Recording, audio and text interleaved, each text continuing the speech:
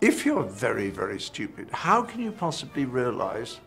that you're very, very stupid. You'd have to be relatively intelligent to realize how stupid you are. There's a, a, wonderful bit of research by a guy called David Dunning at Cornell, who's a friend of mine, I'm proud to say, who's pointed out that in order to know how good you are at something requires exactly the same skills as it does to be good at that thing in the first place, which means, and this is terribly funny, that if you're absolutely no good at something, at all, then you lack exactly the skills that you need to know that you're absolutely no good at it.